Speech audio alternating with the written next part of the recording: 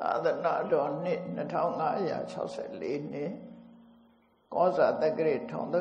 1382ခုနှစ်နတ်တော်လာဇန်13ရက်2020ပြည့်နှစ်ဒီဇင်ဘာလ29ရက်တနင်္ဂနွေနေ့ပမောက္ခကျုပ်ဆရာတော်ဘုရားကြီးအားမှုထား၍စင်ကာပူနိုင်ငံမန္တတဝင်းနှင့် ပိယသဟာယ Association အလူရှင်များအဖွဲ့ဤစကိုင်းမြို့မှာသူဝရယုံကျောင်းတိုက်အင်္ဂါတော်များပစ္စည်းလေးပါငွေပြတဲ့တွင်စုပေါင်းလှူဒန်းခြင်းအကျိန်30မြောက်အောင်မြင်ခြင်းအထိမ်းအမှတ်ဓမ္မပူဇာလူတော်မင်္ဂလာခန္ဓာ၌ဟောကြားအပ်သော ပရဒါရနှင့်ကာမိတုမိစ္ဆာစာရအကြောင်းတရားဒေသနာတော်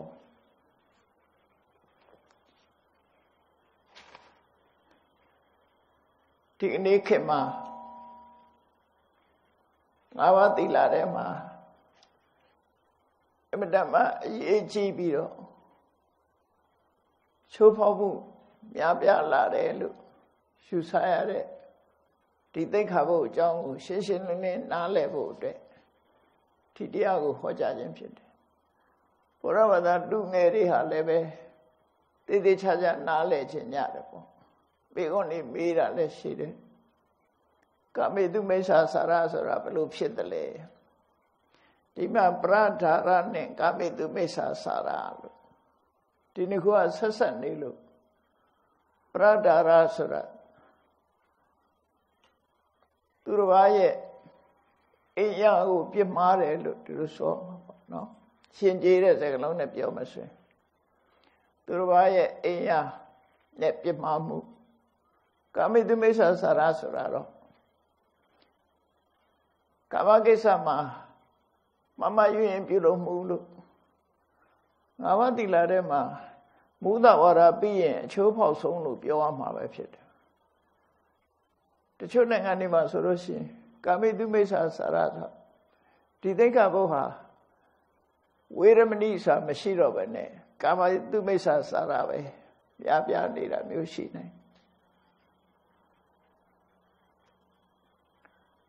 ချောင်းဒီနိုင်ငံကိုသွားပြီးတော့ဝိရမသင်္นานပို့ချပြီးနေတဲ့အချိန်မှာ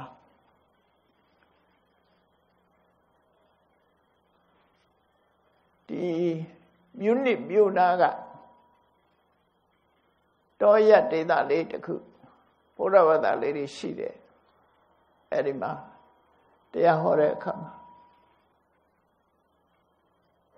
ဘုန်းကြီးကငါးပါးသီလအကြောင်းအနည်းငယ်ရှင်းရှင်းပြတဲ့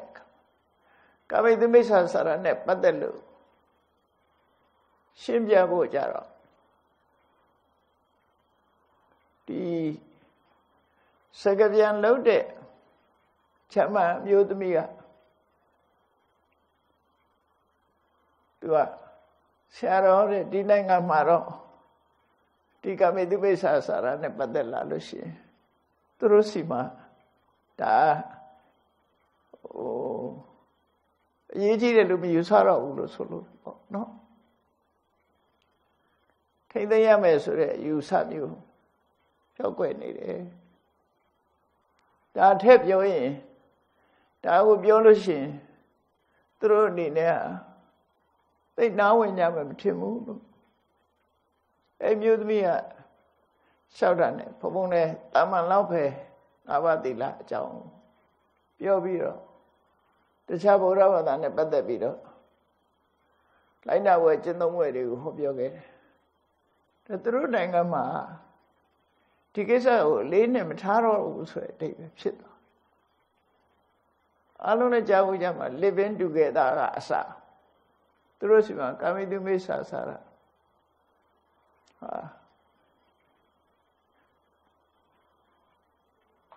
အဲ့ဒါမှလွယ်ကူးနေတဲ့ကိစ္စတစ်ခုလိုဖြစ်ပြီးတော့လေတယ်ဒါကြောင့်မို့လို့ဘုရားဝဒဝင်နေအတွက်ကြလို့ရှိရင်ဒီကိစ္စအရေးပါတယ်ငါးပါးသီလထဲမှာအလွန်အရေးကြီးတဲ့ဟိုရှောင်ကြရမယ့်ကိစ္စတစ်ခုနော်ရှောင်ကြရမယ့်ကိစ္စသူများရှောင်တာမရှောင်တာတဲ့ အမှန်အပြစ်ကြီးတဲ့ဒီပြစ်မှုတစ်ခုလိုဖြစ်အလုံးကသိကြတဲ့အတိုင်းငါဘသီလဟာတစ်ခုမှလျှော့တယ်မရှိဘူးသူ့ပြည့်နဲ့သူပဲကြိုက်လားမကြိုက်လားစဉ်းစားကြည့်ပါဏာတိပါဒကျူးလွန်လို့ရှိရင်ဖြစ်ရဘဝမှာအသက်တိုးအဲ့တော့ဘဝမှာအသက်တိုးတယ်ဆိုတာဟာဘလောက်ထိအောင်တိုးနိုင်တာတော့ဆိုလို့ရှိရင်နော် လူဘဝလူပြီးပြီးပြည်ပြင်းမဖြစ်ခင်လည်းတည်သွားနိုင်တယ်တရေသားဘဝကတည်သွားတာတွေအများကြီးပဲဆရာဝန်တူပြောတဲ့ထဲမှာမိခင်ရဲ့ဝမ်းထဲမှာသရိသားလောင်းတွေကတန်းချီပြီးတော့ရောက်လာတဲ့ထဲမှာတဦးတယောက်လောက်သာလူဖြစ်ရောက်ရှိလာတယ်ဒါကြောင့်မို့လူပြေကအတ္တစင်ပြမပြေကအတ္တစင်အဖျားခြင်းသာထဲလိုက်ထိလိုက်မယ် ထိတာကလွယ်တဲ့လူဖြစ်ဖို့ခဲနေဆိုအဲ့ဒီဟာကိုသိလို့ရှိလက်ခံစဉ်းစားကြည့်လေလူဘဝသာထားငါးတောင်မှလူတွေကငါဥစားတာနဲ့ငါဖြစ်ဖို့ခက်တယ်အကောင်ဖြစ်ဖို့ခက်တယ်ငါးရကောင်ဖမ်းလိုက်တာနဲ့ငါပုံနာလို့ဆိုဥကတန်းချီပါလာအဲ့တော့ဒီငါဥလေးတွေက9000ဖြစ်ခွင့်မရှိတော့ဘူးဆိုတေးရတာပဲလေတာ အဲ့ဒါလို့လူဘဝမှာလည်းပဲလူမသိသူမသိသိဆုံးသွားတာတွေကအများကြီးဒါပါဏာတိပါဒရဲ့ပြစ်မှုတွေပဲကလူပြပြပြပြဖြစ်လာပြန်တဲ့အခါကျတော့လည်းပဲယောဂသူပြောတယ်သိကြကြည်ကြတယ်အသက်တူကြဒါအပေါ်ဆုံးအပြစ်လို့ခေါ်တယ်ငရဲကြတာတွေတိရစ္ဆာန်ဘဝရောက်တာတွေတာထား ပါဏာတိပါဒရဲ့အပေါ်ဆုံးအပြစ်ကအသက်တူတယ်အရိဏဒါနသူများပစ္စည်း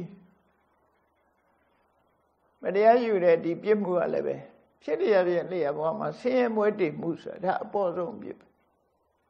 ဒီလိုကြီးတဲ့ကြီးလေးတဲ့ပြစ်ဒဏ်တွေခံရယူမြန်မကဘဝမှာငန်းငတ်ပြက်ပြက်ဖြစ်ရုံမှမက ကိုယ့်ရဲ့ပစ္စည်းတွေပျက်စီးတယ်ဆုံးရှုံးတယ်ဆင်းရဲမွဲတေတဲ့ဘဝကမလွတ်နိုင်ဒါအပေါ်ဆုံးပြစ်ပဲလို့ဆိုကာမေတုမိစ္ဆာစာရလေထို့တူပဲကာမိတုမိစ္ဆာဆိုတာကျွလွန်တဲ့ပုဂ္ဂိုလ်တွေကငရဲမှာခံရပြီးငရဲလွတ်လာတဲ့အခါကျတော့လူမုန်းခံရတယ်စံကားတဲ့တောင်မှပဲ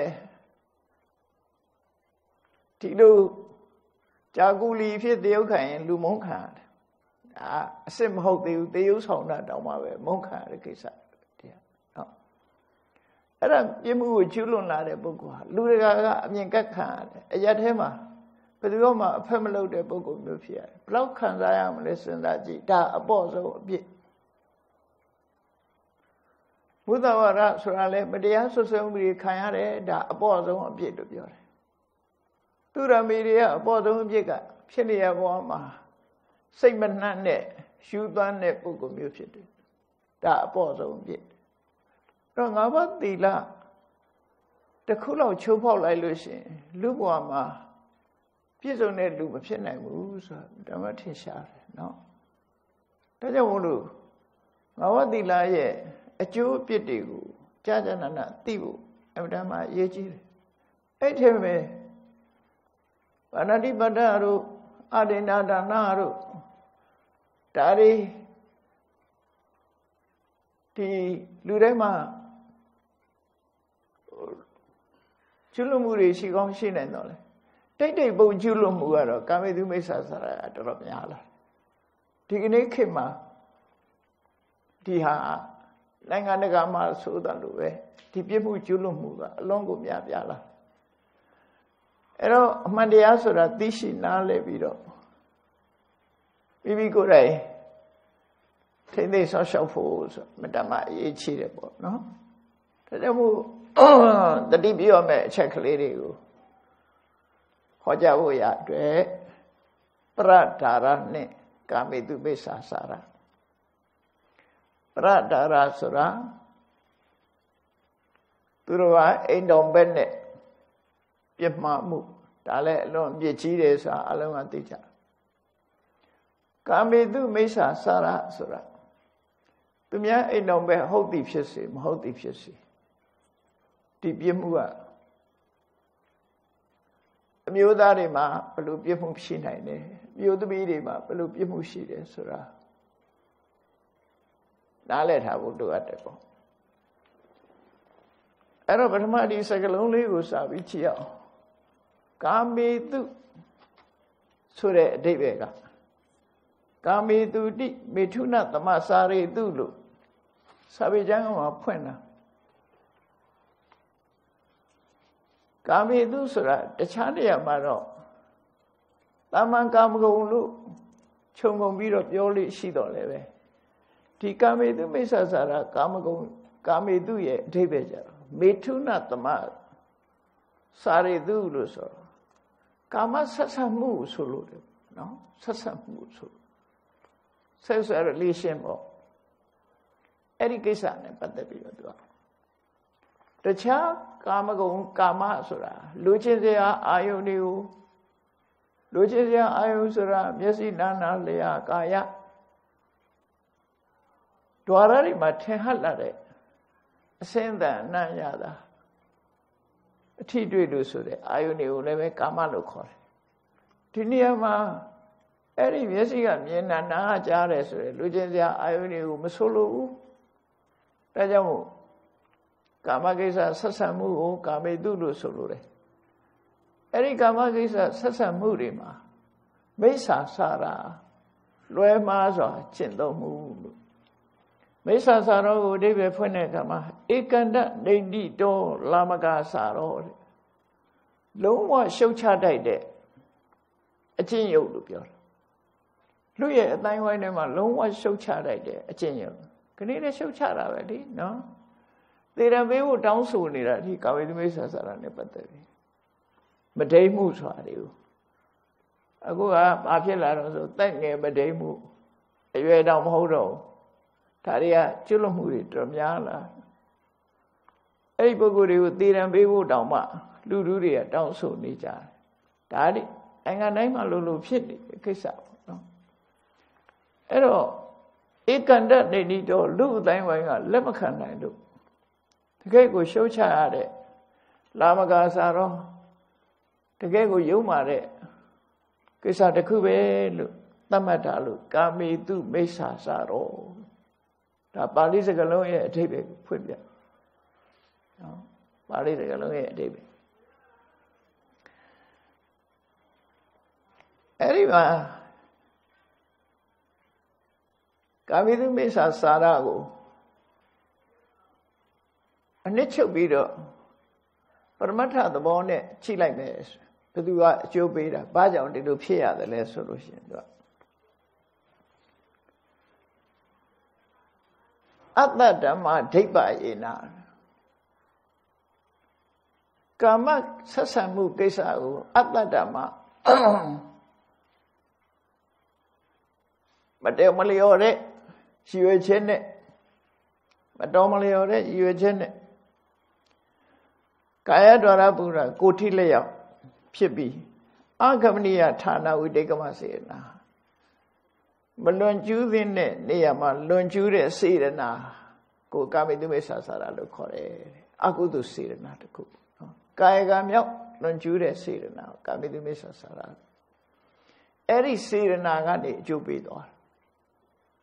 အတော်ကြောက်စရာကောင်းတဲ့အကျိုးတွေကိုသူကပေးတယ်ဒါကြောင့်မို့ပေါ့ပေါ့လေးမတွက်နဲ့ပေါ့ကာမိတုမေဆာစာရဆိုတာရသောအဖြစ်ပေါ့ပေါ့လေးတွက်ပြီးတော့ပြောသလိုနေကြတဲ့ပုဂ္ဂိုလ်တွေဟာနောက်တစ်ချိန်ဒုက္ခရောက်လာပြီဆိုရင်ဘာနဲ့တူတော့ဆိုရင်တင်တုံးတက်ကပြားရည်ဆက်လို့ပြားရည်လေးကတော့ချိုပါရဲ့တင်တုံးတားသွားနဲ့တိတော့ရှာပြတ်တယ် စိတ်ခတ်ထားတဲ့အရက်ချိုအရက်လေးကတော့မွေးမွေးကြိုင်ကြိုင်တောက်လို့ကောင်းမဲ့ပုံစံသို့တော့အစိတ်လည်းတင့်ရောဒုက္ခရောက်တယ်စိတ်ခတ်ထားတဲ့အရာမကြရင်ဒုက္ခရောက်တဲ့ကိစ္စမျိုးတွေကိုအထူးသတိထားသင့်တာပေါ့နော်ကဲဒီနေရာမှာကာမေသူမိစ္ဆာစာရနဲ့ပတ်သက်ပြီးတော့ sex relation လုပ်တဲ့အခါမှာမျိုးသားမျိုးသမီးဆက်ဆံမှုနဲ့ပတ်သက်ပြီးပြောမယ်ဆိုရင်အမျိုးသားတွေဖို့အမျိုးသားတွေဖို့မှာအမျိုးသမီးအမျိုးစားအိမ်တော်မရှိတဲ့အမျိုးသမီးက10ဦးအိမ်တော်ရှိပြီးသားအမျိုးသမီးက10ဦး အလုံးပေါင်းလိုက်ရင်အမျိုးသမီး20လို့သတ်မှတ်တယ်နော်အမျိုးသမီး20ရှိတယ်အဲ့ဒီ20လေးကိုမှတ်သားထားဖို့လိုတယ်နော်ဒီလောကမှာရှိတဲ့အမျိုးသမီးတွေဟာလောကကျင့်ဝတ်နဲ့ပတ်သက်ပြီးတော့ခွဲလိုက်တယ်အမျိုးသမီး20 နောက်ပထမ10ဦးကတာမန်အမျိုးသမီး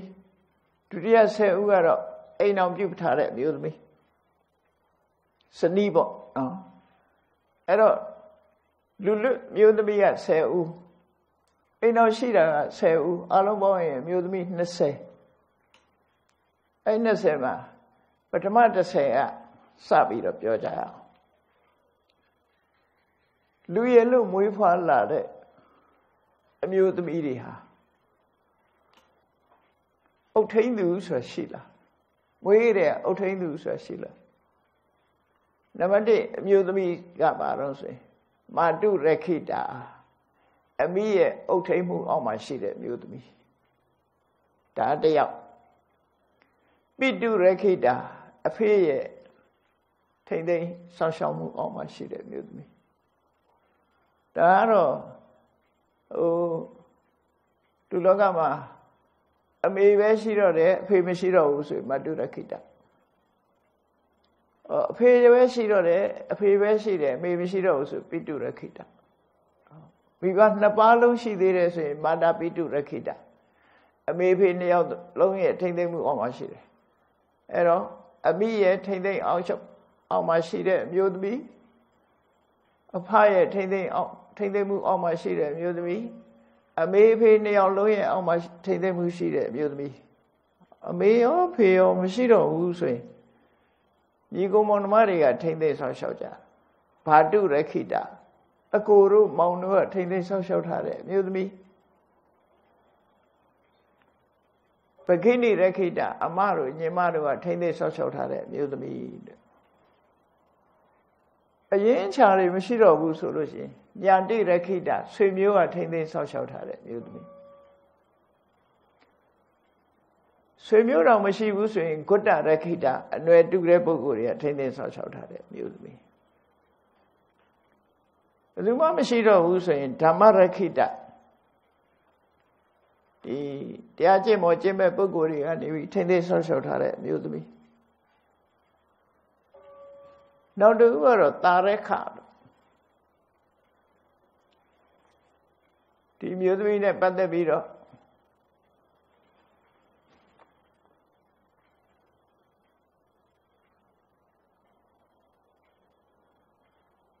တချို့အိန္ဒိယနိုင်ငံမှာဆိုရင်အိမ်တော်မပြုတ်သေးတော့လဲကျွတ်တင်ပြီးတော့သတ်မှတ်ထားတာရှိတယ်ပိုင်ဆိုင်မှုကျွတင်သတ်မှတ်ထားတဲ့အမျိုးသမီးတပရိဌာန ဒီမျိုးသမီးနဲ့ဆက်ဆံမှုပြုလို့ရှိရင်ဓာရိုက်ခံရမယ်လို့ကြေညာထားတဲ့အမျိုးသမီးအမျိုးသမီး10ယောက်ရှိတယ်လောကဥပရိယမျိုးသမီး10ယောက်ရှိတယ်အတူချုပ်ကိုဝိသုဒ္ဓဆိုတော့ကြီးကမှတ်မိအောင်လုပ်ထားတယ်မာပိမာပိဘာနေဘာညာကောထံအတာမျိုးသမီးဆရာမာပိမာပိဘာနဲ့ပါမာဆိုတာမာတုရခိတ ပိဆိုတာပိတုရခိတအဲ့လိုမှတ်ရအောင်နော်မာပိမာပိဘာနဲ့ပါဘာဆိုတာပကိနိဘာဆိုတာဘာတုရခိတမာပိမာပိဘာနဲ့ပါယာဂောထံတတယာတိရခိတကုတ္တရခိတဓံဓမ္မရခိတအဲ့လိုအတူချုပ်လေးမှတ်တာလို့ရှိရင်မာပိမာပိဘာနိဘာညာကောထံတတဒါဆံဒီဒီအလုံးဆဲဥပေါ့နော် ဒါမျိုးသမီးအိမ်တော်မရှိသေးတဲ့အမျိုးသမီးတွေပေါ့ဒါ10ယောက်အိမ်တော်ရှိသွားတဲ့အမျိုးသမီးက10ယောက်ရှိတယ်အိမ်တော်ရှိသွားတဲ့အမျိုးသမီးကအိမ်တော်ကြသွားတယ်တနည်းနည်းနဲ့အိမ်တော်ကြနေတဲ့အမျိုးသမီးက10ဦးအဲ့ဒါကဘာလို့ဆိုအိမ်တော်ပြုတ်ဝင်ပြုတ်နည်းရလဲအမျိုးစုံပဲ နံပါတ်1ကဒနက်ကီတာလို့ခေါ်တယ်တချို့ကပက်ဆက်ပေးပြီးတော့ဝယ်ထားတာရှေးခေတ်ကနော်ခုလည်းမထူအောင်တင်တောင်းတယ်ဆိုတော့ဝယ်တာပဲလေဒီမျိုးသမီးလူချင်းငွေဘယ်လောက်တင်ရတယ်ဆိုတာရှိတယ်လေဒါလည်းဝယ်ထားတာဒနက်ကီတာလို့ခေါ်တာပက်ဆက်ပေးပြီးဝယ်ထားတဲ့မျိုးသမီး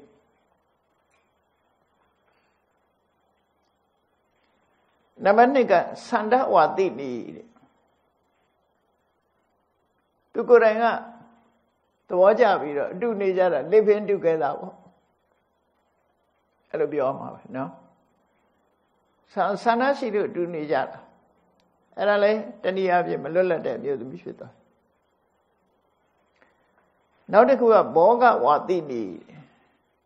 ဆင်းရဲတဲ့အမျိုးသမီးလေးတွေကိုပတ်စံချမ်းသာတဲ့ပုဂ္ဂိုလ်ကပတ်စံပေးပြီးတော့အိမ်တော်ပြုထားတဲ့ဟာဘောဂဝါတိနီလို့ခေါ်တယ် စစ်စစ်ဥစ္စာပေးပြီးတော့နေတာကြိုက်လို့ယူတာမဟုတ်ဘူးဝေကျေတနာအတွက်အမျိုးတွေကလည်းလောကကြီးမှာရှိတော့နော်နောက်တစ်ခုကပတဝါသိနေတယ်လှလှပပဝတ်ချင်စားခြင်းနဲ့အမျိုးသမီးလေးတွေပစာမရှိဝတ်စရာမရှိလှခြင်းရဲ့တန်းနဲ့မလှရတဲ့အခါအဲ့ဒီဝတ်စားတစားတွေပေးပြီးတော့ အိမ်အောင်ပြုခံရတဲ့မျိုးသမီးကပတဝါတိနီလို့ခေါ်တယ်အဝတ်တန်းစာပေးပြီးတော့အိမ်အောင်ပြုတာနောက်တစ်ခုကျတော့ဩဒပတ္တကိနီရေပလာထဲမှာလက်ဆုံချပြီးတော့ထိမ်းမြလက်ထပ်ထားတဲ့ဒါတချို့ရက်ဒီမှာလက်ထပ်ထားတဲ့အခါမှာရွှေပလာသုံးဖို့ငွေပလာထဲမှာ အမျိုးသားအမျိုးသမီးလက်ဆောင်ချပြီးတော့ဒီရေဟာကွယ်ပြချနာမှုမရှိသလိုထာဝရပေါင်းသင်းနိုင်ကြပါစေဆိုတချို့ရက်တွေမှာလုပ်တယ်တချို့ရက်တွေကတော့အဝတ်လက်ကိုဝတ်နဲ့စီးတယ်လို့ရှိမျိုးစုံပဲပေါ့နော်ဒါကတော့သူဒလိထုံတန်းစင်လာရပါဒီမှာရှေးတုန်းကတော့အဲ့ဒါဩဒပတ္တကိနီလို့ခေါ်တယ်ရှေ့ကွယ်ထဲမှာလက်ဆောင်ချပြီးတော့လက်ထပ်ထားတဲ့အမျိုးသမီး ဩဘဒဆုံးဘဒဆေးရနုနုသူများစီအိမ်ကိုရေခတ်ရတာရေခတ်ရတယ်ဟိုကတည်ရတယ်ဒါတည်ရတယ်ခေါင်းပေါ်ကခေါင်းခုလို့ခေါ်တာပေါ့နော်အဝတ်ကလေးကိုခွေပြီးတော့ခေါင်းပေါ်တင်အဲ့ဒီမှာရေခတ်ရတာတို့ဟိုအဒီကရွဲရတာတို့အဲ့ဒီအလုပ်လေးတွေပင်ပင်ပပန်းလုံးမဘဝရဲ့တဝမ်းတစ်ခါလှတဲ့မျိုးသမီးတွေကို သဘောကျတဲ့ယောက်ျားတွေကကဲမင်းဒါမလုံးနဲ့တော့ဆိုပြီးတော့အိမ်တော်ဘက်ဖြစ်ရွေးထားတာအဲ့ဒါကိုဩဝတ္တသုမတာလို့ခေါ်တယ်ဒါလည်းတနည်းအားဖြင့်သူဇနီးဖြစ်သွားပြီနောက်တစ်ခုကတော့ဓာတိစပရိယရှေးခေတ်ကအိမ်မှာမျိုးရိုးစင်ဆက်ကစပြီးတော့ချေးကြုံဖြစ်ရောင်းစားခံရတယ်အခုလည်းမထူအောင်လူကုန်ကူးတယ်ဆိုတာအမှန်ကြုံဖြစ်ရောင်းစားတာပါပဲ ပြောမယ်ဆိုရင်ကျွန်ဖြစ်ရောင်းစားခံရတာနာမည်သာကျွန်လို့မခေါ်တာနော်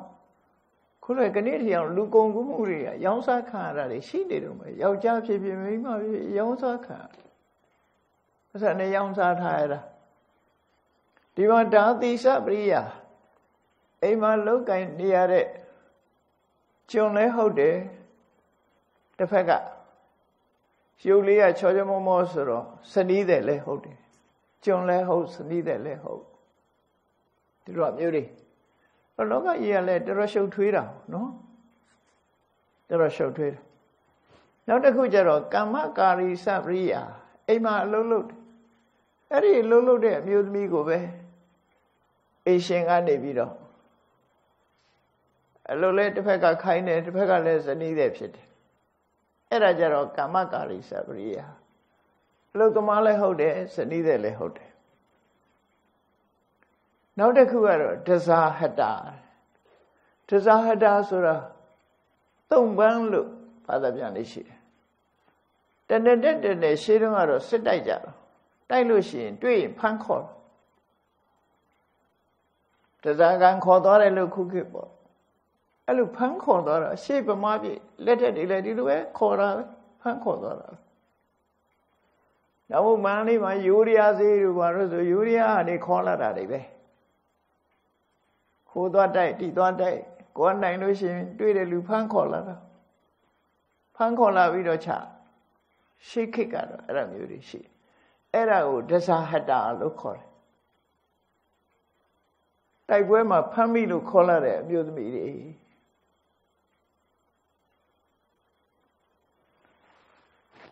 နောက်တစ်ခုကတော့မုဟုတ်တိကာအပျော်ပါအတွက်တခဏတွေ့ဆုံတဲ့မျိုးသမီးမျိုးအဲ့တော့တာမန်အမျိုးသမီးကမျိုးသမီးဆိုတာအမေရှိရင်အမေရဲ့အုတ်ထိပ်မှုရှိနေတယ်ဖေးရှိရင်ဖေးရဲ့အုတ်ထိပ်မှုအောက်ရှိနေအဲ့ဒီအုတ်ထိပ်မှုအောက်ရှိတာတွေနဲ့အဲ့ဒီအမျိုးသမီးက10ဦးတ နည်းလက်လအပြင်အိမ်အောင်ရှိသွားတဲ့အမျိုးသမီးက10ဦးအလုံးအမျိုးသမီး20အမျိုးသားတယောက်ဟာအဲ့ဒီအမျိုးသမီး20တဲကဘသူနဲ့ပတ်သက်ပတ်သက်ကာမိတုမိစ္ဆာစာရဖြစ်တယ်မပတ်သက်ရဘူးပတ်သက်ပြီဆိုရင်ကာမိတုမိစ္ဆာစာရကျွလွန်တယ်လို့ခေါ်တယ်သဘောတူတူမတူတူ အမေအုပ်ထိန်မှုအောင်ရှိနေတယ်ဖေအုပ်ထိန်မှုအောင်ရှိနေတယ်ဆိုရင်သူကလွတ်လပ်တယ်လို့ခေါ်လို့မရဘူးဒါကြောင့်မို့ဒီ20လုံးဒီလွတ်လွတ်အမျိုးသမီးပင်ဖြစ်စေမလွတ်လပ်တဲ့အမျိုးသမီးကြတော့ပရဒါရကံမှာထိုက်တယ်လွတ်လပ်နေသေးလို့ရှိရင်တော့ကာမိတုမိစ္ဆာစရမလွတ်လပ်တော့ဘူးဆိုလို့ရှိရင်ပရဒါရပါဖြစ်တာ အဲ့တော့ကာမိတုမိစ္ဆာစာရနဲ့ပရဒါရဆိုတာဆက်နွယ်ပြီးတော့နေတယ်လို့ဒီလိုမှတ်ဖို့လိုတယ်နော်အဲ့တော့အမျိုးသားမအမျိုးသားတွေဖို့ဟာကိုကိုယ်တိုင်လက်ထပ်ထိမ်းမြန်းထားလို့မိဘသဘောတူလို့သုံးဖို့တခုနဲ့ဒီတရားဝင်လက်ထပ်ထိမ်းမြန်းထားတဲ့အမျိုးသမီးမှတပါးအခုပြောရတဲ့အမျိုးသမီး20နဲ့ပတ်သက်ရင်ကာမိသမီးစာစာရာဖြစ်တယ် ကာမိသမီးစာစာရာကံကိုကျွလွန်ရရောက်တယ်ဒါတိလို့မှတ်ရမယ်နော်ဟုတ်ပြီအမျိုးသားတွေဒါကာမိတုမိစ္ဆာဆရာဖြစ်သလားဆိုတော့အမျိုးသမီးတွေလည်းကာမိတုမိစ္ဆာဆရာဖြစ်တယ်သို့တော့အမျိုးသမီးတွေကဘယ်အမျိုးသမီးတွေဟာသူတို့နဲ့မသက်ဆိုင်တဲ့အမျိုးသားနဲ့ဆက်သွယ်မှုရှိရင် ဆက်ဆံမှုရှိလို့ရှိရင်ကာမိတုမိစ္ဆာဆရာထက်တယ်လေဆိုတော့အမျိုးသမီးအလုံးမှာတော့ကာမိတုမိစ္ဆာဆရာမဖြစ်ဘူးကာမိတုမိစ္ဆာဆရာဖြစ်တဲ့အမျိုးသမီးက12ဦးရှိတယ်အဲ့ဒီ12ဦးကဘာတွေတော့ဆိုရင်ခုနကဒနက်ခိတာကစပြီးတော့မိုဟတိကာထိအောင်သူတို့မှအိမ်တော်ရှိနေတယ်တနည်းအားဖြင့် အဲ့ဒီ10ဦးအဲ့ဒီ10ဦးသည်မိမိမိမိနဲ့လက်တွဲပေါ်ယောက်ျားမှတပါတခြားအမျိုးသားနဲ့ဆက်သွယ်လို့ရှိရင်ကာမိသမိဆာဆရာဖြစ်တယ်နောက်တစ်ခုကဒီတာရက်ခတပရိဒန္တာဒီမျိုးသမီးနဲ့ပတ်သက်ပြီးတော့ကာဝယ်ဆောက်ရှောက်မှုရှိနေတယ်ဥပဒေနဲ့ဖြစ်စေတနည်းအားဖြင့်ကာဝယ်ဆောက်ရှောက်မှုရှိနေတယ် တပရိဒန္တာစီကံထုတ်ထားပြီးတော့သူနဲ့မပတ်သက်သေးရဘူးလို့ပတ်သက်ရင်ထန်ချမယ်ဆိုတဲ့သတ်မှတ်ထားတဲ့အမျိုးသမီးလက်ရောက်သူတို့ဟာအိမ်အောင်ကြသေးတာတော့မဟုတ်ဘူးသို့တော့ကျွတင်ရွေးချယ်သတ်မှတ်ထားတဲ့ပုံစံမျိုးဖြစ်သည့်အတွက်ကြောင့်တာရက်ခနဲ့တပတိပရိဒန္တဆိုတဲ့ဒီအမျိုးသမီးနှစ်ယောက်ဟာ သူတို့သတ်မှတ်ထားတဲ့အမျိုးသားလွယ်ကြံတဲ့အမျိုးသားနဲ့ပတ်သက်လို့ရှိရင်ကာမိတုမိစ္ဆာဆရာဖြစ်တယ်အဲ့ဒါကိုသိချမှတ်ဖို့လို့နော်မျိုးသမီးတွေမှာတော့မျိုးသမီး12ယောက်သည်ကာမိတုမိစ္ဆာစာရဖြစ်တယ်ကြံတဲ့10ယောက်ကတော့ယောက်ျားတွေလိုကာမိတုမိစ္ဆာစာရမဖြစ်ဘူးနော်ဒီ12ဦးကတော့ သူတို့သတ်မှတ်ထားတဲ့သူတို့ရဲ့အမျိုးသားတွေမှာတပါးတခြားအမျိုးသားနဲ့ကာမိကစားရှိလို့ရှိရင်ကာမိတုမိစ္ဆာစာရဖြစ်တယ်စာပေကျမ်းမှာအကမနိယဌာနမသွားလာသင်းတဲ့နေရာလို့ဆိုပြီးတော့သတ်မှတ်ထားတယ်အမျိုးသားတွေအတွက်အကမနိယအမျိုးသမီးက20ရှိတယ်အမျိုးသမီးတွေအမျိုးသမီး12ဦးရဲ့အကမနိယက တခြားယောက်ျားလို့ဆိုလို့အဲ့ဒါကာမိတုမိစ္ဆာဆရာနဲ့ပတ်သက်ပြီးတော့စာပေကျမ်းကမှာဖွင့်ဆိုထားတဲ့အရာပဲဖြစ်တယ်ပေါ့နော်အဲ့တော့အမတ်တမဲ့ကျွလွန်နေကြတဲ့ပုဂ္ဂိုလ်တွေဟာထိုကျွလွန်မှုရဲ့အပြစ်ဒဏ်ကိုခံကြရမှာပဲခံကြရတယ်အဲ့တော့ဒီနေရာမှာဒီ တန်ကိစ္စဆက်မှလာတဲ့ကာမိတုမိစ္ဆာစာရကြောင့်ငရဲခံရတာလေးကိုမှတ်သားကြည့်ကြရအောင်ရှုံးသည်ဖြစ်စေမယုံသည်ဖြစ်စေကံတရားစာဘုရားဘာသာရဲ့ဘုရားတရားတော်ရဲ့ဆုံးမဆိုတာဒီဥပဒေလိုရေးဆွဲပြီးဒါလို့ရင်ဒါဖြစ်စေလို့ဥပဒေနဲ့ဆိုတဲ့ဟာမဟုတ်ဘူးဒါတဘာဝဒီပြစ်မှုကျူးလွန်လို့ရှိရင် ဒီဒီပြစ်မှုကြောင့်ကိုယ်ခံရတယ်ဥပဒေကြောင့်ခံရတာမဟုတ်ဘူးနော်လူတွေလှုပ်ထားတဲ့ဥပဒေကြတော့ဥပဒေရှိလို့ခံရတယ်ဒါဥပဒေလောကရဲ့တဘာဝဥပဒေရှိတယ်သူတို့ဆိုလို့ရပေါ့ reaction လို့ခေါ်တယ်အစိတ်ဟာအစိတ်ပဲသူ့ရဲ့တုံ့ပြန်မှုခံမှာအကုသိုလ်ကလည်းအကုသိုလ်ပါတုံ့ပြန်ရင်တုံ့ပြန်တဲ့သူ့ရဲ့အကုသိုလ်ရဲ့တုံ့ပြန်မှုကခံရမှာ ဖះကခံမိုးသတ်မှတ်တာလည်းမဟုတ်ဘူးတရားယောကအပြစ်ထံပေးတာလည်းမဟုတ်ဘူးကိုလို့တဲ့အကုသိုလ်ကကိုယ်ကိုအပြစ်ထံပေးတယ်လို့အကုသိုလ်လို့တဘာဝတရားအရာတတ်မှတ်ထားတဲ့အရာသာဖြစ်တယ်မြတ်စွာဘုရားဟောလို့ဒါအကုသိုလ်ဖြစ်တယ်ဆိုတော့မဟောလဲအကုသိုလ်ဖြစ်နေတာပဲဒါဥပမာအစိတ်ဟာအစိတ်ပဲအစိတ်လို့သိသည်ဖြစ်စေမသိသည်ဖြစ်စေနော် ဒီပြစ်မှုကပြစ်မှုပဲလို့သူတို့ဆိုလို့တယ်ပေါ့နော်အဲ့တော့ဟုတ်ပြီဒီကာမေတုမိစ္ဆာစာရကိစ္စနဲ့ပတ်သက်ပြီးတော့ပရဒါရပဲဖြစ်စေပရဒါရမဟုတ်တာပဲဖြစ်စေအမျိုးသားအမျိုးသမီးဒီတိတ်ခါဘုတ်ကိုကျွလွန်ဖောင်းဖြက်ပြီးတော့အကုသိုလ်ကြီး ဖြစ်သွားပြီဆိုရင်ဒီအကုသိုလ်ရဲ့အကျိုးပေးပုံတွေကဘယ်လိုအကျိုးပေးတော့ဆိုတာတန်ကိစ္စဇတ်မှာဆိုတာလေးကိုမှတ်သားကြည့်အောင်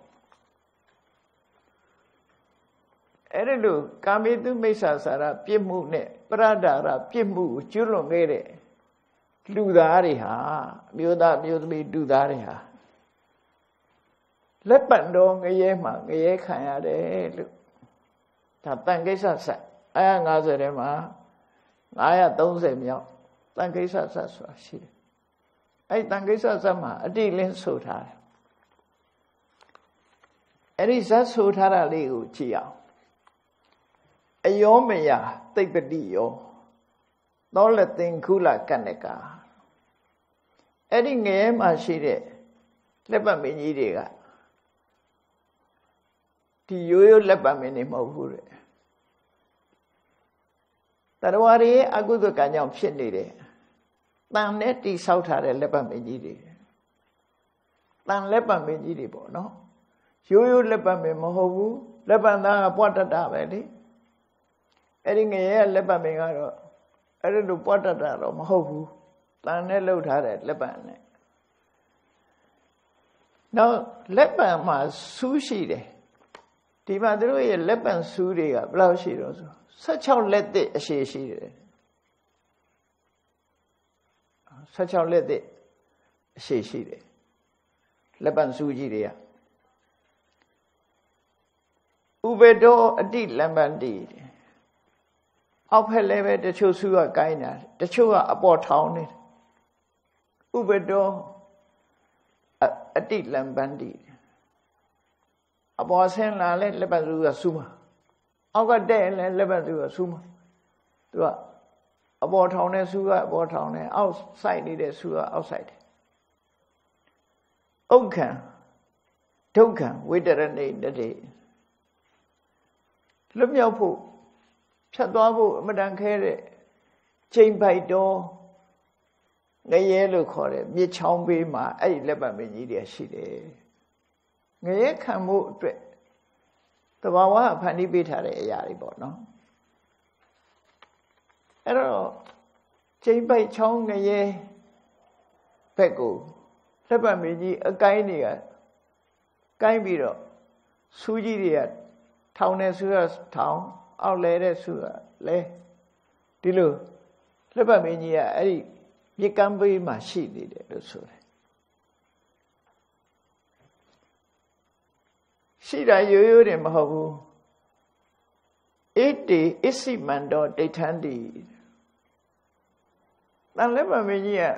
မိဟုံဟုံတောက်နေတာဆူးတွေကလည်းမိတော့တွေနဲ့ပြီးရရဲတောက်နေတယ်အခိခန္ဓာဝအာရကအဝဲနေကြည့်ရင်မိဘုံကြီးလို့ပဲအဲ့ပင်ကြီးအကုန်လုံးတပင်လုံးဟာပြီးတော့နေနဲ့အာဒိဋ္ဌာ သာတဝေထေနဥဒ္ဒံယောစနမောခတာတပင်လုံးမီးတွေဟုံးတောက်ပြီးတော့မီးလျံနေဟာအထက်တယုဇနာနောက်ထီအောင်မြင့်တက်ပြီးတော့နေတယ်မိလောင်နေတဲ့မိဟုံးတောက်နေတဲ့တန်လက်ပတ်မင်းကြီးလို့သူတို့ဆိုလို့တယ်နော်ငရဲခံရတာ ဧကေဝဇန္တိနိရိတတ္တိတိခိဏကန္နကေနဂရိယောသအတိစာရနရာစနရိနာရိယောသအတိစာရနရာစပရဒါရကုလူဘဝမှာနေတော့ကကာမကိစ္စကျွလွန်တဲ့အမျိုးသမီးတွေ သူတစ်ပါးရဲ့တာမယားကိုပြစ်မှားတဲ့အမျိုးသားတွေအဲ့ဒီပုဂ္ဂိုလ်တွေဟာအဲ့ဒီငရဲရောက်သွားတတ်တယ်ရောက်သွားကြတယ်အဲ့ငရဲရောက်သွားပြီးတော့တတ္တိတိခိနကဏ္ဍကေလောလောလတ်လတ်အလုံးကိုပူတဲ့ထက်မြက်တဲ့စူးကြီးတွေရှိတဲ့လက်ပတ်တော်ငရဲကိုရောက်သွားကြတယ်ဒီလိုဆိုလို့ တေပတန်တိအဒေါခန္ဓာဝိဝတ္တဝိဟတပုထုအဲ့ဒီရောက်သွားတဲ့ငရဲသားတွေဟာကာဝိတုမိစ္ဆာစာရပရဒါရဒီပြစ်မှုတွေကိုကျွလွန်ခဲ့တဲ့ပုဂ္ဂိုလ်တွေဟာအဲ့လက်ပတ်တော်ငရဲမှာဆောက်ထိုးအနေထားနဲ့ကြသွားပြီးဒုက္ခအကြီးကျယ်ရောက်ကြတယ်ဆောက်ထိုးကြရင်အဲ့ဒီဆူးတွေကတကူလုံးဆူးဝင်ပြီးတော့ သူတို့ဟာငရဲဒုက္ခခံနေရတယ်ဒီကံစက္ခန္တိတပရာအမြဲတမ်းပဲလွတ်လမ်းမရှိအိမ်မှာဒုက္ခရောက်နေကြတယ်တတောရတယဝိဝတ္တာနေမဟာတိန်ပပတုပမလောဟကုံပိပဝိသန္တိတတ္တံအခိတမှုရကံညအခါတညလုံးငရဲခံညလုံးမြောက်လို့မလဲရောက်လာလို့ရှိရင် မိဟုံတောက်နေတဲ့တောင်ကြီးပေါ်မောင်းတင်လို့တက်တောင်ကြီးပေါ်ရောက်တဲ့အခါကျတော့လောဟကုံမိန်ပဝိသန္တိအောက်ငရဲအိုးတဲ့ခါဆောက်တိုးပြန်ကြအဲ့ဒါပူးနေတဲ့ရေဘူးထဲမှာကျသွားပြန်တယ်အဲ့တော့ညခံရနေလဲခံရနဲ့ဒီလက်ပတ်တော်ငရဲမှာ ငရဲသားတွေကလက်ပတ်မင်းအောက်ရောက်ရင်မောင်းတယ်ဆူရိယဆူအပေါ်တက်အပေါ်ရောက်ရင်တခါအောက်မောင်းချဆူရိယဆူအဲ့ဒါလို့ဧဝံထိဝါစရတောစဒုတ်တိလာမောဟပါရုဒ္ဓကိုချင်းတရားပြက်ပြားပြီးတော့ဒီမောဟရဲ့လွှမ်းမိုးမှုကိုခံရတဲ့အသိဉာဏ်မရှိတဲ့ပုဂ္ဂိုလ်တွေကနေရောညရော အနုဘွန်တိတကံကမံကိုလုံးတဲ့ပြစ်မှုကိုကိုယ်ပဲခံစားနေကြရတယ်တဲ့ပုဗ္ဗိဒုက္ကတမတ္တနောဒါတန်ကိစ္စဆက်မှာ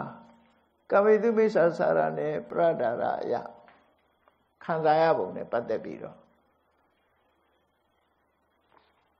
ဟောထားတဲ့ငရဲဒုက္ခပေါ့နော်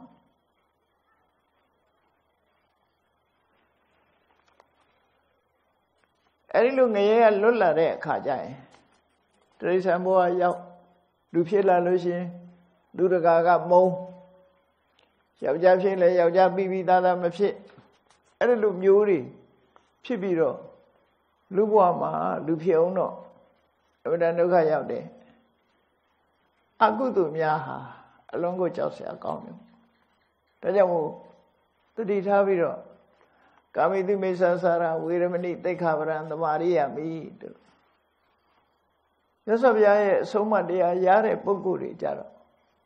ကာမိတုမိစ္ဆာစာရရဲ့အပြစ်ကိုမြင်ပြီးတော့ကာမိတုမိစ္ဆာစာရမှာရှောင်ကျင်ပါတယ်ဆိုပြီးတိခါဘုဆောက်တည်ပြီးတော့ထိမ့်သိဆောက်ကြ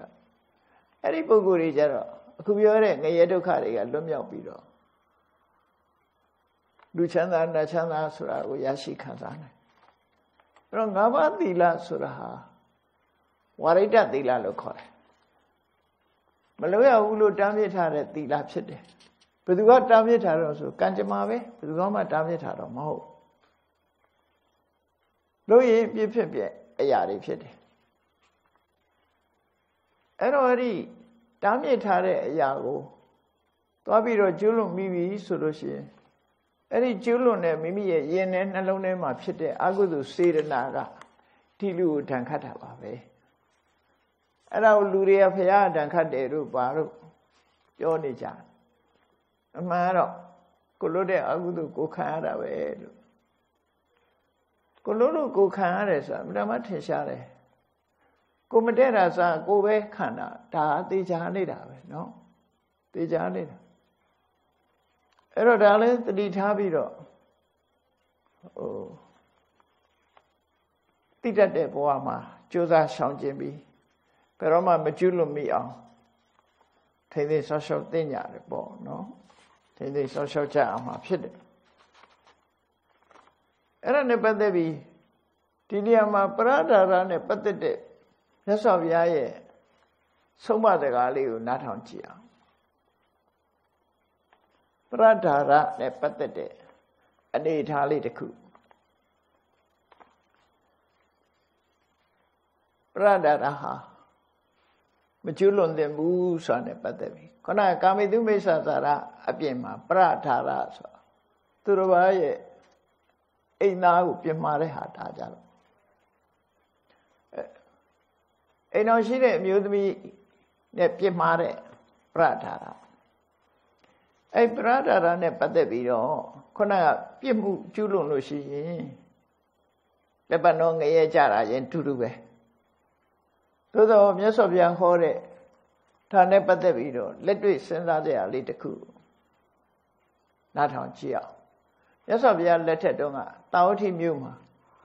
ပရဒါရကျွလွန်တဲ့တထေးသားတဦးရှိတယ်အဲ့ဒါအများသိတဲ့ဒုသနာသောဆိုတာလည်းရှိတယ်နော်ဘုရားလက်ထက်က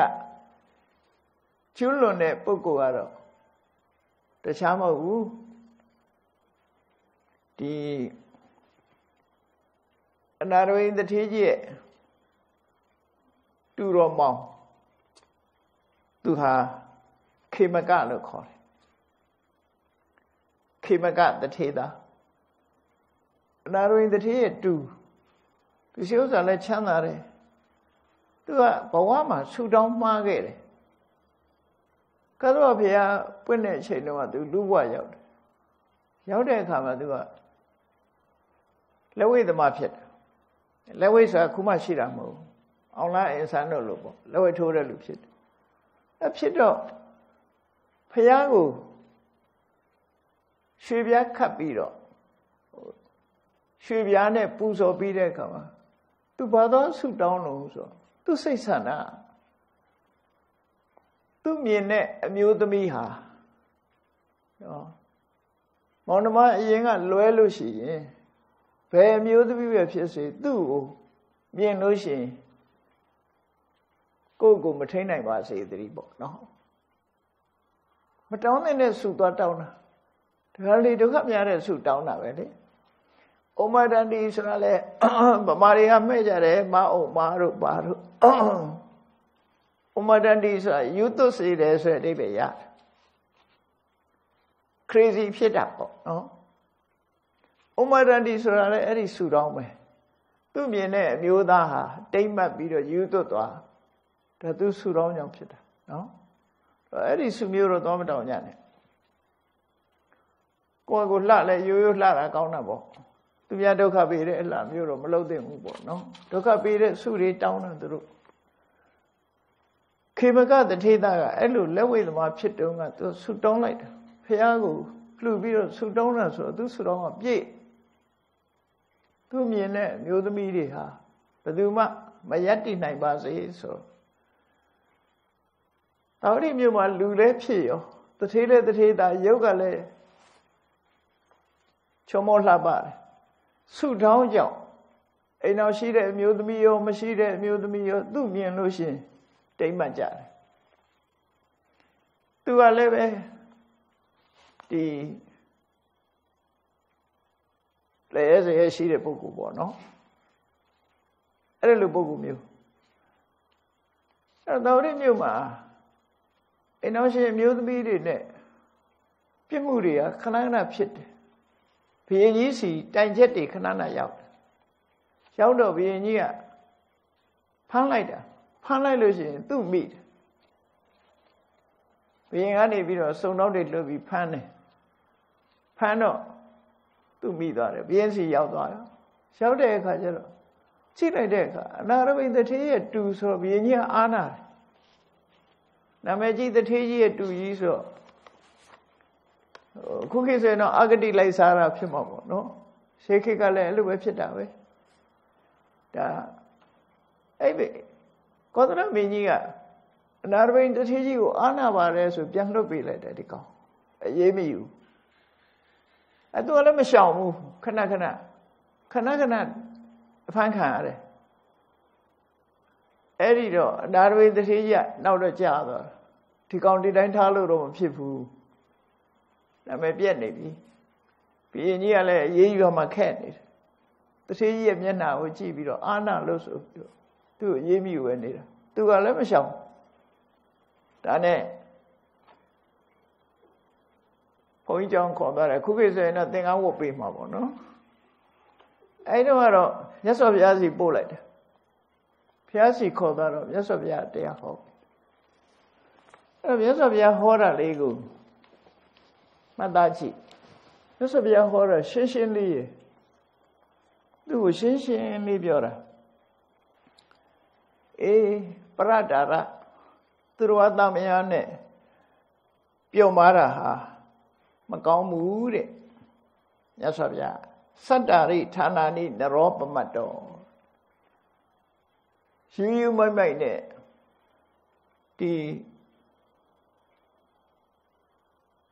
အပိစတိပရဓာတုပသေဝီသူတော်ဘာရဲ့မယားနဲ့ဆက်ဆံတဲ့ပုဂ္ဂိုလ်ဟာ အချက်လေးချက်ကိုသွားညှိနိုင်တယ်ချက်လေးချက်နဲ့သွားညှိမယ်တဲ့ပရဒရာကံကျူးလို့ရင်အချက်လေးချက်နဲ့သွားညှိမယ်နံပါတ်1ကအပုံညလာပါမင်းမကောင်းမှုအကုသိုလ်တွေမင်းရနေမှာကျူးလွန်နိုင်ကျူးလွန်နိုင်အကုသိုလ်တွေဖြစ်နေတယ်အကုသိုလ်တွေရနေကုသိုလ်ရမှာမဟုတ်ပဲနဲ့အကုသိုလ်တွေရနေလူတွေကတော့ပျော်တာပါတာ အကုသိုလ်လို့မထင်ကောင်းမထင်ဘူးပေါ့နော်မြတ်စွာဘုရားကအပုံညာလာပါတယ်မင်း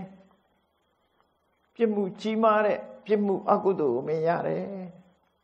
နနိကမသေးရသူတော်ဘာရဲ့အိမ်တော်ဘက်နဲ့သွားပြီးပြစ်မှားတယ်ဆိုတာဘယ်အိတ်ကောင်းချင်းအိတ်ရမလို့ဘလောက်အခွင့်ရေးချောင်းနေရမှမမသိတာအဲ့ဒါကြောင့်မလို့နနိကာမတေယစိတ်တိုင်းကြလည်းမအေးရဘူးတဲ့ ဒါမြတ်စွာဘုရားလက်တွေ့ကိုဟောတာ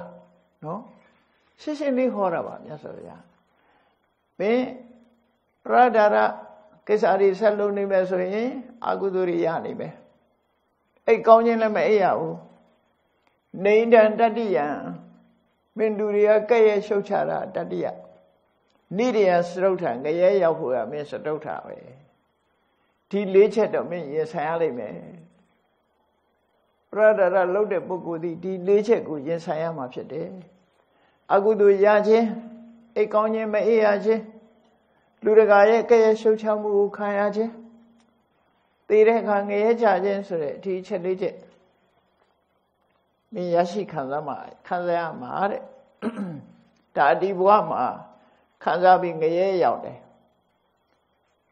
တေချာစဉ်းစားကြည့်တဲ့ ဒီလုံဒီအလုတ်ဒီပြစ်မှုကျူးလွန်တာဟာအပုညလာဘော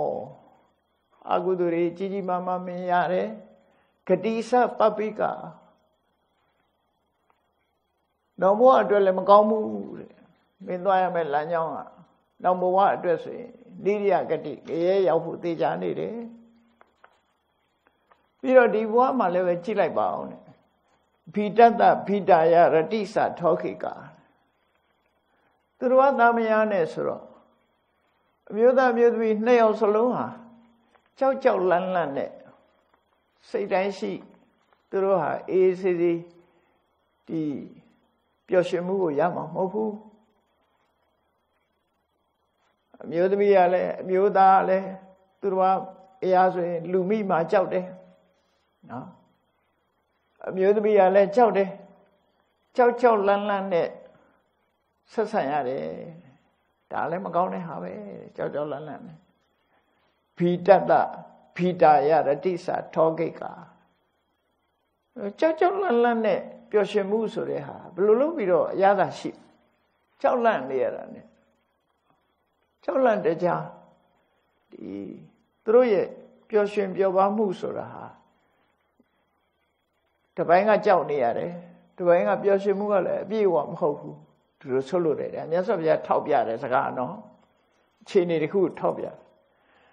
သာသထန္တံခရုကံပဏိတိတယ်ဒီကိစ္စမျိုးကိုဘယင်းတွေကလည်းကြီးမားတဲ့အပြစ်ဒဏ်ချမှတ်တယ်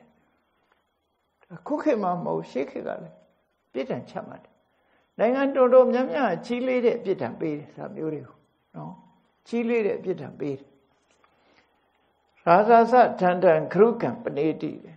ကြီးလေးတဲ့ပြစ်ဒဏ်ကိုတိုင်းပြည်အုပ်ချုပ်တဲ့မင်းတွေကချမှတ်ခံရရတယ်တဲ့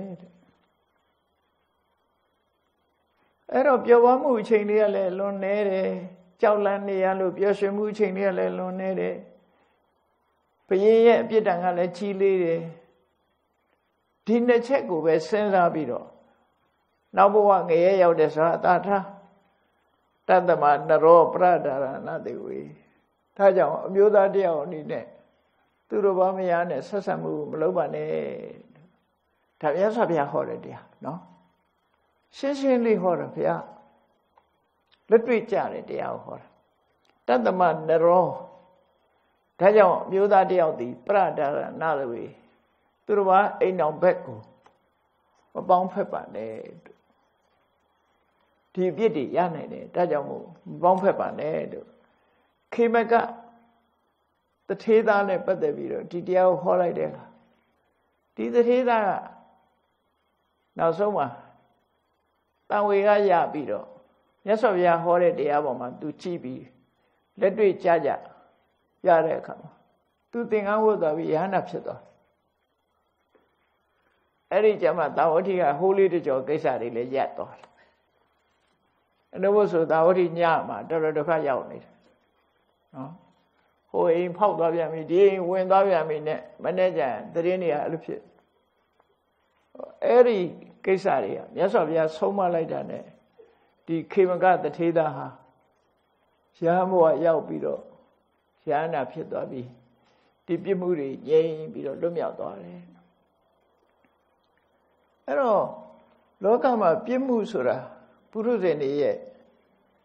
ပုရုဇဉ်တွေဟာကျွလွန်မိတတ်တဲ့အရာတွေပဲဖြစ်တယ်ဒီ လမ်းကြောင်းမှန်သွားပြီဆိုရင်ထိုကျွလွတ်မှုတွေကိုလွန်မြောက်နိုင်ပြီးသူတော်လူကောင်းဖြစ်ကိုရောက်သွားတာလေလည်းများစွာရှိတယ်ပေါ့နော်ဒါကြောင့်မို့မြတ်စွာဘုရားရဲ့ဆုံးမတရားတော်ကိုနိုင်မှတ်သားကြပြီးငါးပါးသီလထဲမှာပါဝင်တဲ့ကာမိတုမိစ္ဆာစာရဝေရမဏိသိက္ခာပရံသမာရိယာမိဆိုတဲ့ဒီတတ္တရမြောက်သိက္ခာပုဂ္ဂိုလ်အလေးနဲ့ထားပြီးတော့ထိမ့်သိမ်းဆော့ရှော့ကြရမှာဖြစ်ပါတယ်တရားချစ်ခင်သူတော်စင်ပြိဿအပေါင်းတို့ မြတ်ဗုဒ္ဓရဲ့အဆုံးအမတရားတော်မြတ်မှလာတဲ့အတိုင်းပဲမိမိတို့ရဲ့ဘဝကိုသာသနာတော်နဲ့ကြုံတွေ့ပြီးအသိဉာဏ်ရှိတဲ့အချိန်မှာအကောင်းဆုံးဖြစ်အောင်ကျင့်ကြံကြိုးကိုပွားများအားထုတ်ကြမှာဖြစ်တယ်လို့ကိုယ်စီကိုယ်စီအသိတရားရပြီးကြိုးစားအားထုတ်နိုင်ကြပါစေကုန်သတည်း